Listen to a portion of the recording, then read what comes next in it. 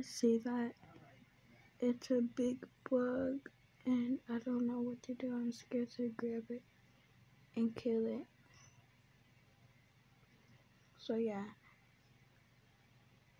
please help me. I wish my sister was up, but she's asleep. And I'm up by myself, but with my mom, basically.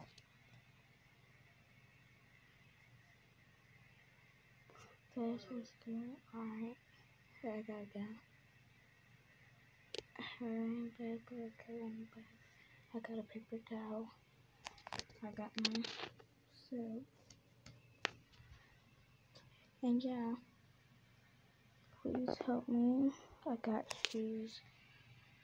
Think of that, guys. Flies, water, whatever. Bye.